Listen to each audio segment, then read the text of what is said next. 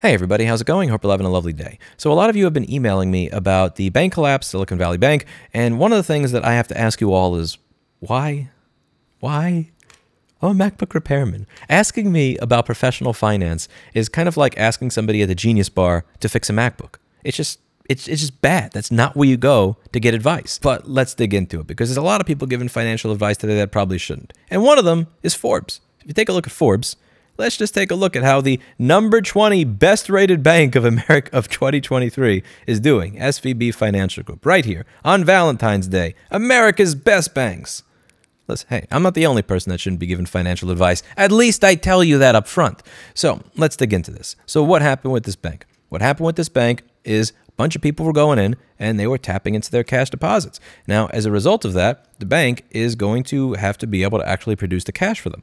Most banks don't keep 100% of your money. They invest it into a bunch of other stuff so that they can make money themselves, that they could fund their operations, and also so that they're able to provide interest to the people that actually are have accounts at the bank. Now, they have a lot of their money in treasury. They have a lot of money in treasuries. This is a type of bond. So, I'll just to give you a very, very, very hyper basic overview of how this works. Let's say I had 10 million bucks, right? I have 10 million bucks. I can give it to the government and say, "Here, have fun with this money for the next 10 years." Yeah, a, they're going to give me interest on it every single year. So let's say interest rates are 4%. On that 10 million bucks I lent the government, they're going to give me $400,000 every single year. And B, when the 10 years is over, I get my $10 million back.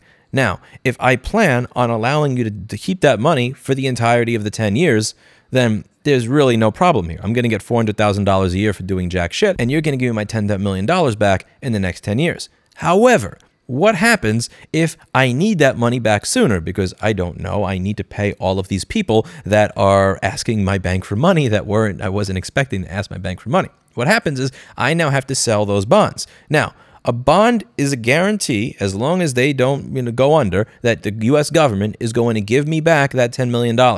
However, if I need to sell that bond, that bond does have a variable value based on the market. Maybe I'll be able to sell that bond for $10 million and $200,000. Maybe I'll be able to make a $200,000 profit on it if the market is up.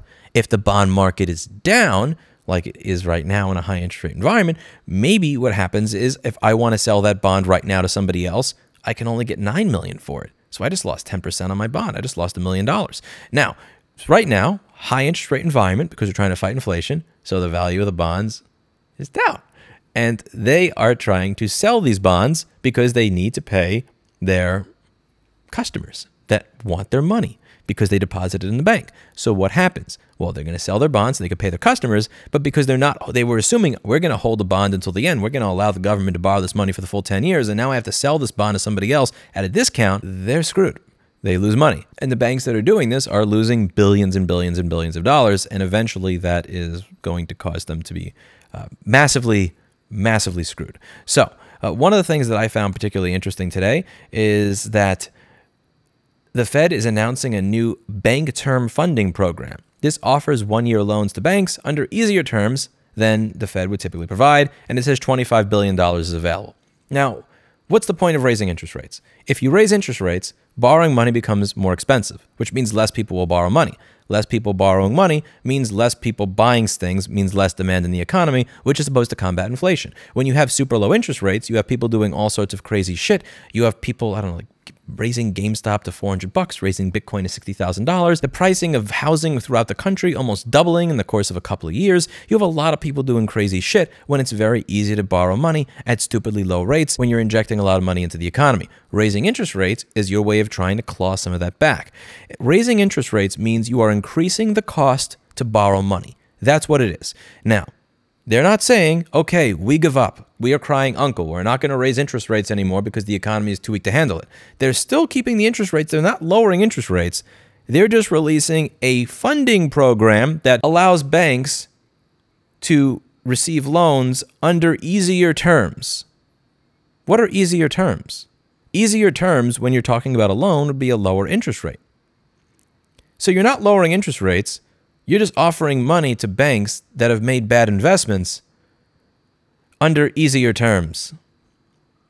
It's a funny thing. It's like we can't we can't admit that we're not going to keep increasing interest rates because if we do, we will lose the inflation battle. But if we keep increasing rates without offering you any sort of morphine to ease the pain, the banks will fail and then we will be screwed. So I, I don't want to. It's kind of like when I step on a scale and I see the number go up a little more than I want in the morning because I, I, I got, it used to be 188 pounds. I've lost almost 30 pounds. I got down to 158, got down to 155, went back up to 161.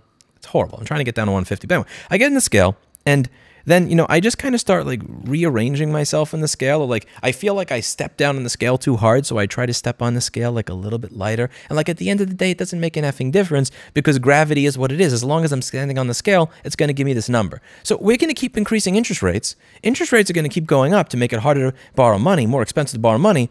But then we're going to increase but then we're going to have these separate programs on the side that offer loans to banks under easier terms so it is easier to borrow money. I mean, the entire point of this is to decrease the liquidity in the economy so that there's less money sloshing around out there, so there's less inflation. But then when shit hits the fan, you're not going to stop increasing rates. You're just going to put out a program that makes it easier for banks to borrow money that have made bad investments, which increases liquidity.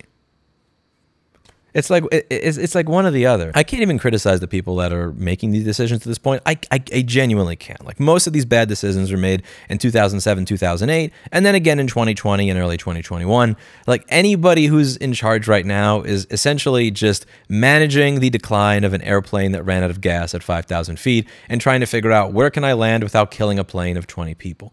Like, it, there's virtually nothing you can do right now that would be considered the right decision. Like the time to make the right decision was a very, very long time ago, right? It really is just like which route is the least miserable of the three miserable routes? Like, do we want to land in the water? Do we want to land on the highway and hope that there's no cars or trucks around us? Do we just want to go? Anything is better than just doing this. Like, but where where, where should we land? And like the I don't know, just re- reading this, it just kind of makes me sad. But above all, like, how the Forbes, America's best banks. Are you? SVB Financial is number 20. And I, the funny thing is, at the time that I'm reading this, I'm sure this is this is probably going to get worse by the time I upload it because of Spectrum Internet I trust the financial system to decline at a more rapid rate than I expect Spectrum to be able to upload this video. Another bank seems to be getting screwed, New York Signature Bank, and I can only imagine how many others were stuck with these treasuries that they really thought, you know, okay, we're going to have this treasury for 10 years, we're going to get interest rate for 10 years, and that's that. That never thought they'd have to sell them, that are now going to have to sell them in a down market. Because again, if you if you own treasuries, it's like owning treasuries. It's not like buying Tesla or GameStop at the at the height of the bubble. This is they're very very even when the market goes to shit, they, they really don't go down a lot. Like if you're somebody who owns treasury bonds in your portfolio versus something like the S&P 500, even when the S&P 500 is doing this, treasuries are doing this.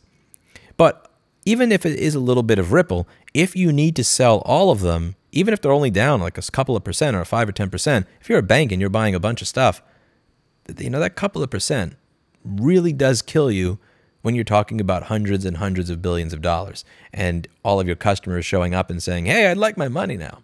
Anyway, that's about that. Uh, again, I am not a financial investment advisor. I'm not a financial services professional. You should listen to me just about as much as you should listen to Forbes. Just to be clear, I'm just going to put that out there. You should, when it comes to financial advice, trust me as much as you trust Forbes. That's about it. As always, hope you learned something. I'll see you all in the next video. Bye now.